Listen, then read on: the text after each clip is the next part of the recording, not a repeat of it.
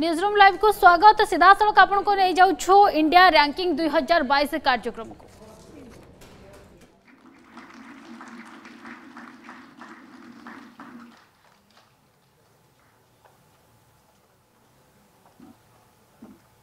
I request representative from Jamia Millia Islamia.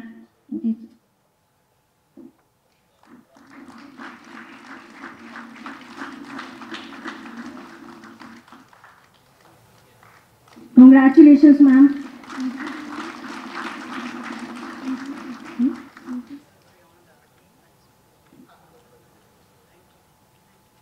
And the next category is top engineering colleges in the country and the first position goes to Indian Institute of Technology Madras. Please come on the stage and receive the award.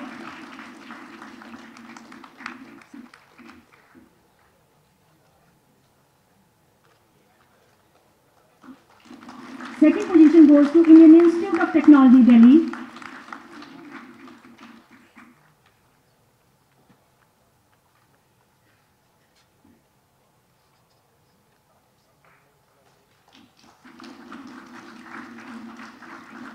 And third position goes to Indian Institute of Technology Bombay. Congratulations, sir.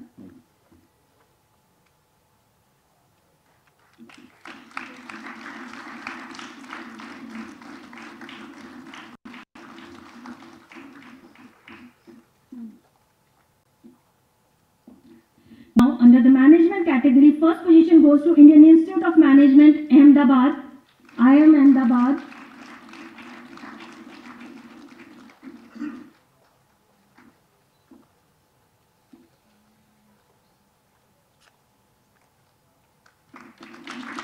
Congratulations, ma'am. And second position goes to Indian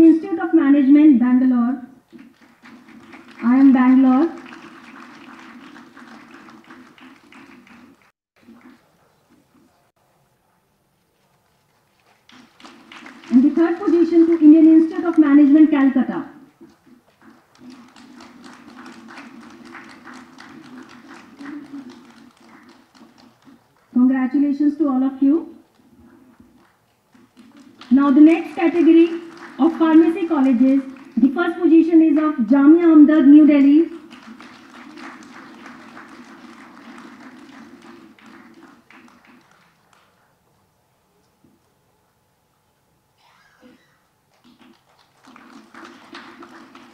And the second position goes to National Institute of Pharmaceutical Education and Research, Hyderabad.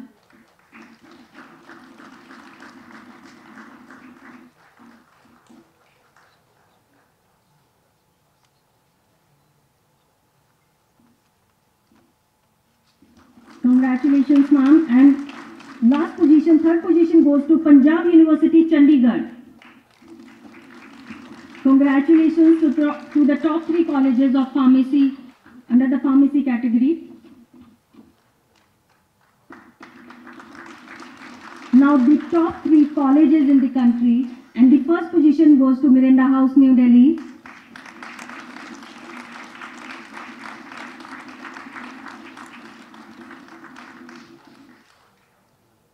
Second position, Hindu College, New Delhi.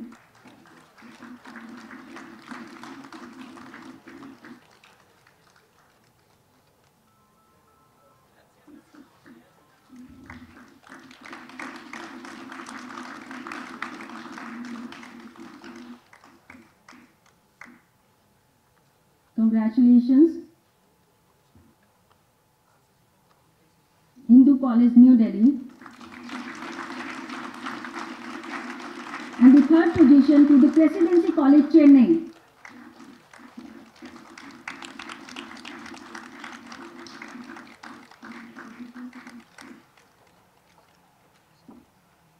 Congratulations to the Presidency College, Chennai.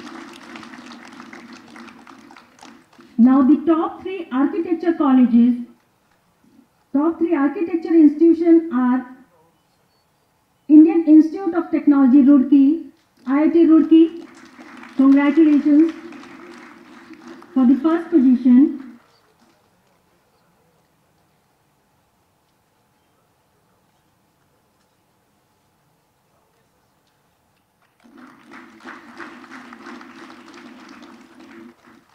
Second position goes to National Institute of Technology Calicut, NIT Calicut. And the third position goes to Indian Institute of Technology Kharagpur. IIT Kharagpur.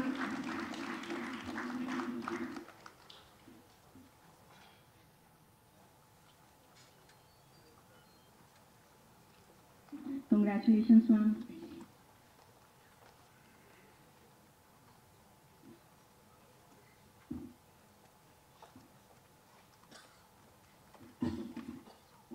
Congratulations to the IIT Kharagpur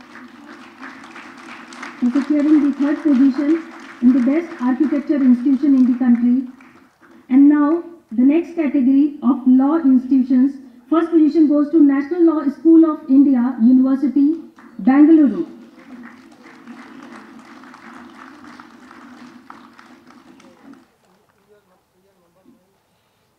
Congratulations. And the second position goes to National Law University, New Delhi.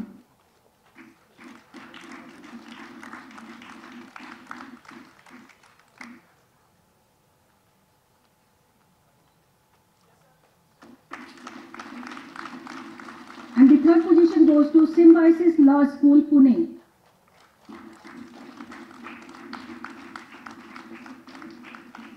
Congratulations to the Symbiosis Law School, Pune.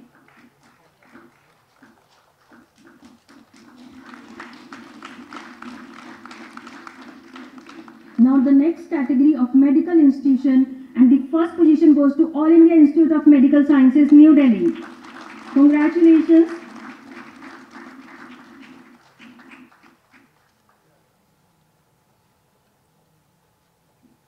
New Delhi secured the first, first position under the medical category and the second position goes to Postgraduate Institute of Medical Education and Research Chandigarh.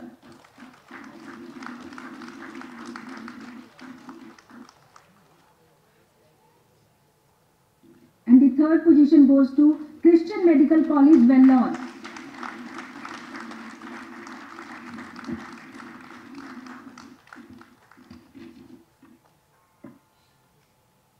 Congratulations to all of you for your exemplary work and contribution to the education.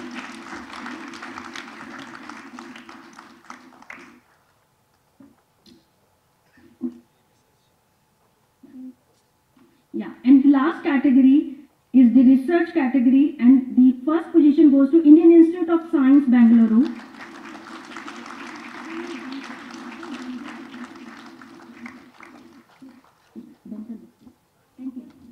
Okay. Under the dental category, first position goes to Savita Institute of Medical and Technical Sciences, Chennai.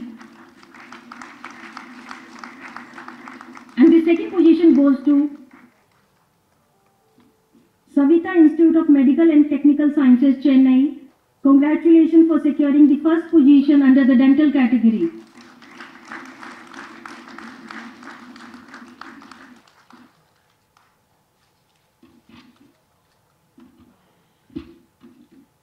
And the second position goes to Manipal College of Dental Sciences, Manipal. And the third position goes to Dr. D.Y. Patil, Vidyapeeth, Pune.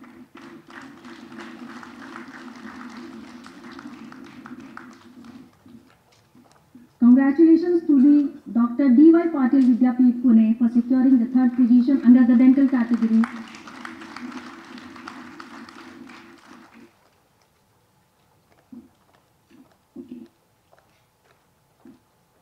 Now the top three institutions in the research category and the first position goes to Indian Institute of Science, Bangalore.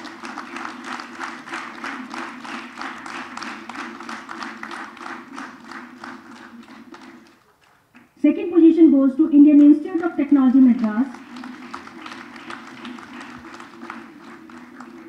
And third position goes to Indian Institute of Technology, Delhi.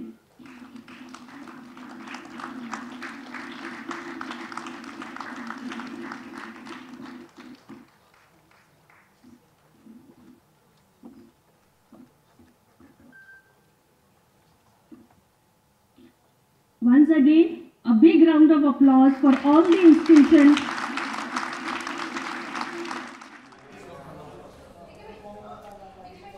National Board of Rankings के chairman के K Agarwal जी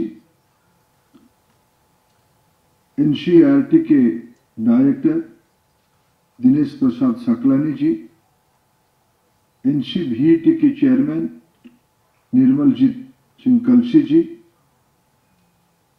NDA के member secretary Anil Kumar NASA ji और यहाँ उपस्थित सारे विद्वान मित्र मंडली भाई और बहनों, पत्रकार साथीगण, आप सभी को बधाई। मैं बहुत पुराने मित्रों को भी यहाँ देख पा रहा हूँ।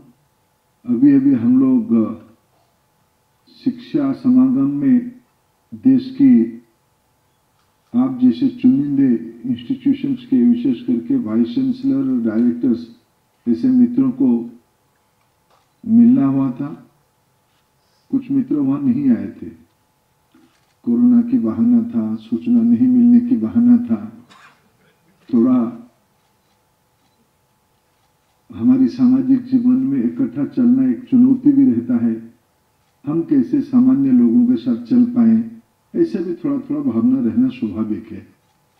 लेकिन देर सही दुरुस्त सही आप लोग सभी यहाँ आए हैं अवार्ड के नाम पे आए हैं आप सभी को बधाई है। जो मित्र आए नहीं उनके लिए सभी के लिए नहीं जो वहाँ आए नहीं थे। मैं, मैं फिर भी आज बहुत प्रसन्न हूँ बहुत खुशी है सबके मन में।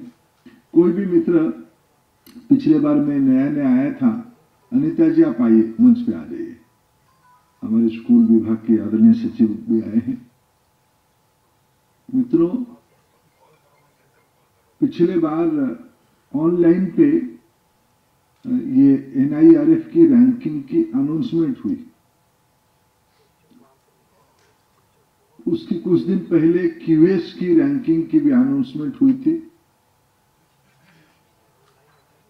और पिछले एक साल में शायद एवरेज प्रतिदिन देश की किसी न किसी शिक्षानुष्ठान की प्रबंधक में से या वाइस चांसलर, डायरेक्टर या प्रिंसिपल प्रत्यक्ष अप्रत्यक्ष एक फ़ोन कर ही लेते हैं। हमारे न्याय की रैंकिंग की चिंता कर लीजिएगा। और मैं पिछले साल भर में ढूंढ रहा हूँ, मेरा भूमिका क्या है उसमें? न्याक तो एक ऑटोनोमस बॉडी ऑफ़ यूजीसी यानी UGC is super autonomous body दो दो ऑटोनोमस बॉडी के ऊपर विभाग की क्या भूमिका है? मैं आज भी उसकी, उस प्रश्न मेरे मन में है कि देश में कोई नीति जब लागू होती है, कोई फ्रेमवर्क जब लागू होती है, हम सभी की एक अभ्यास है, नियम से सब होनी चाहिए। लेकिन मेरा वाला थोड़ा इधर उधर हो जाए तो ये तो मेरा हाथ थोड़ा बनता है, आपकी मेरा दोस्ती है, थोड़ा तो मैं आपको अनुरोध कर ही लूँ। फिर पूछता हूँ कि भाई क्यों आते हो? तो प्रोसेस है, वो ऑब्जेक्टिवली होता होगा। नहीं नहीं, फिर भी आप थोड़ा देख लेंगे।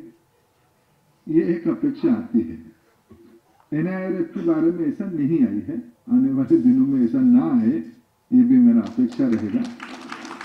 और अनिल जी और संजय जी दोनों कुछ कॉलेजेस की जब, कुछ इंस्टीट्यूशंस की जब अनाउंसमेंट हो रहा था वो दोनों चर्चा कर रहे थे कि इस इंस्टीट्यूशंस को दिख के ही पता चलता है। एनआईआरएफ ऑब्जेक्टिव है और एनआईआरएफ इम्पार्शियल है। एनआईआरएफ की असेसमेंट क्वालिटेटिव है। ये इंस्टीट्यूशंस की अनाउंसमेंट से ही पता चलता है। नहीं तो पीजीआई चंडीगढ़ नहीं आता। मैं आप सभी को आपकी इस कृति के लिए बहुत बहुत शुभेच्छा देता हूँ, बहुत बहुत बधाई देता हूँ। मित्रों, हम लोग 21वीं सदी में दो दशक पार कर चुके हैं।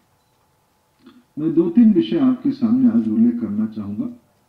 अभी अभी बनारस में जब शिक्षा समागम हुई, उस कार्यक्रम का उद्घाटन माननीय प्रधानमंत्री नरेंद्र मोदी जी ने किया। उस कार्यक्रम की ठीक पहले यूपी की सरकारी स्कूलों में प्रधानमंत्री,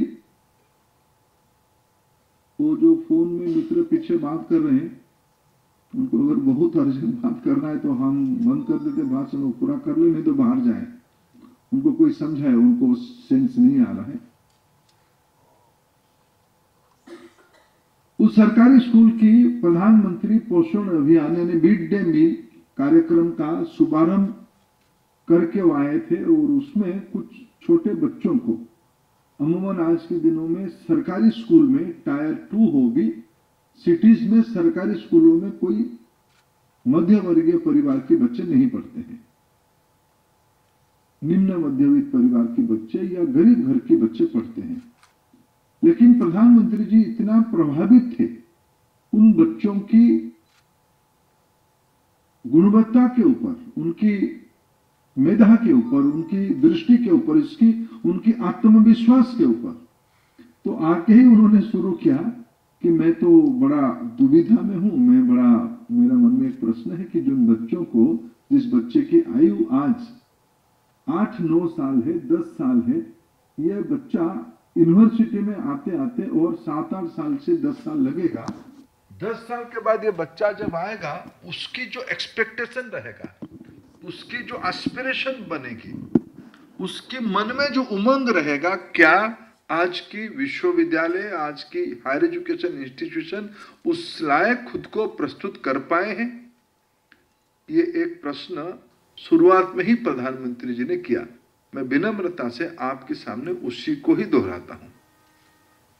इक्कीसवीं सदी को एक ज्ञान आधारित नॉलेज बेस्ड इकोनॉमी की सेंचुरी कहा जाएगा? ऐसे सब दुनिया भर की एक्सपर्ट दुनिया भर की थिंकर्स इस विषय में सहमत है कि इंडस्ट्रियल रिवोल्यूशन 4.0 की अनफोल्डमेंट मशीन पावर से नहीं होगा। होगा तो knowledge based innovation and entrepreneurship में होगा। मैन्युफैक्चरिंग इकोनॉमी में महत्वपूर्ण स्थान पे रहेगा ही, उतना ही महत्वपूर्ण स्थान पे सर्विस इंडस्ट्री आ चुका है। उतना ही महत्वपूर्ण भूमिका डिजिटलाइजेशन होगा, उतना ही महत्वपूर्ण भूमिका दुनिया की इमर्जिंग इकोनॉमी में विशेष करके टेक्नोलॉजी की प्रभाव रहेगी। इसीलिए भारत आज डिजिटल ट्रांजैक्शन में विश्व की व्यवसाय की 40 प्रतिशत हिस्सा अपने हाथ में ले आ चुका है। अभी हम लोग सबको इन आपकी लाभार्थी हैं। हेल्थ सेक्टर में आज आप कल्पना करिए, कुछ साल पहले ने सात आठ साल पहले एक पासपोर्ट प्राप्त करना पासपोर्ट लेना ये जैसे एक बहुत बड़ी हिमालय को एक बार चढ़ के उतरना जिसे समान था। आज उसी दुनिया में कोविन ऐप में हमारी वैक्सीनेशन होने की मैक्सिमम 30, 35, 40 सेकंड एक मिनट भी होता नहीं है। हमारी टेलीफोन पे उसकी एविडेंस आ जाता है। भारत की एंटर बैंकिंग ट्रांजैक्शन में लोड घट गई है। ऑनलाइन ट्रांजैक्शन डिजिटल ट्रांजैक्शन में कन्वर्ट हो चुका है। भारत की रेडी पटरी में बैठने वाला छोटे देनदारी में जुड़ा हुआ व्यक्ति अपना ट्रांजैक्शन यूपीआई हो या पेटीएम हो, उस ऐप में करता है। मित्रों, यही इमर्जिंग इकोनॉमी की नॉलेज बेस डिजिटल इकोनॉमी की ओर जर्निंग है। उसकी जर्मिनेशन मैं एक उदाहरण दिया, इसे अनेक उदाहरण आप लोग रोज बनाते हो। ह्यूमैनिटीज के अंदर हो लीगल स्टडीज़ में हो, पिछले दिनों में भारत में लॉ की धारणा था क्रिमिनल लॉ ही प्राइमेसी रखता था। आज कॉरपोरेट लॉ ही प्राइमेसी रखता है। आखिर सोचने की टाइम आया है कि आईआईटीज में चलने वाले मैनेजमेंट स्कूल्स क्यों एक्सीलेंट कर रहे हैं? क्योंकि मार्केट इंजीनियरिंग टेक्नोक्रेट्स के से इंजीनियरिंग टेक्नोक्राट से मैनेजरियल कैपेबिलिटी भी अपेक्षा कर रहा है। जो इंस्टीट्यूट उसको ब्लेंडिंग करके पढ़ाता है, उसकी एक्सीलेंस भी होती है। इसीलिए राष्ट्रीय शिक्षा नीति में एनईपी में मल्टी डिसिप्लिनरी कहा गया। मल्टी डिसिप्लिनरी का अर्थ, एक समय में विद्यार्थी को नया क्रेडिट फ्रेमवर्क के माध्यम से मार्केट और इंडस्ट्री और सर्विस सेक्टर और इकोनॉमिक अपॉर्चुनिटी की आवश्यकता के हिसाब से पढ़ाई हो जाए। कुछ समय में, मैं जो विद्यार्थी था, उस समय में भी, या लंबे समय तक एक प्रश्न होता था कि कैंपस में इंटरव्यू कैसे होता है? और कैंपस इंटरव्यू होने के बाद फिर उनको भेजा जाता है मैनेजमेंट ट्रेनिंग के लिए। अभी कॉरपोरेट्स ने अपना पैटर्न चेंज किया जनरल यूनिवर्सिटी हो या टेक्निकल इंस्टीट्यूशन हो, उसमें आखिरी का एक साल की पहले ही कैंपस इंटरव्यू कर लेते हैं और उनकी रिक्वायरमेंट के हिसाब से आपसे टाइप करते हैं। हमको ऐसे स्टूडेंट बना के दीजिए। मित्रों, ये बदलते हुए स्थिति है और उसमें इन दिनों में भारत में जो चार पाँच प्रकार की इंस्टीट्यूशन है उच्च शिक्षा में सेंट्रल गवर्नमेंट द्वारा चालित institutions central university IITs NITs IIMs और उसी इक्विवेलेंट के अन्य मिनिस्ट्रियों के द्वारा चलने वाले संगठन डीम्ड यूनिवर्सिटी डीम्ड यूनिवर्सिटी भी दो प्रकार के हो गए हैं। फिलांथ्रोपिक और ट्रस्ट ड्रिवेन इंस्टीट्यूशंस भी चलते हैं। भारत सरकार के कुछ विभाग भी डीम्ड यूनिवर्सिटी चलाते हैं। मेरे लिए तो सुखद आश्चर्य है, देश की सबसे प्रीमियर इंस्टीट्यूशंस आईआईएससी भी डीम्ड यूनिवर्सिटी है उसको आने वाले दिनों में जब हम हेकी लेके आएंगे आने वाले दिनों में हेकी की नया फ्रेमवर्क में ऐसे मेरे को जगदीश जी ने आश्योर किया है there be no discrimination of deemed university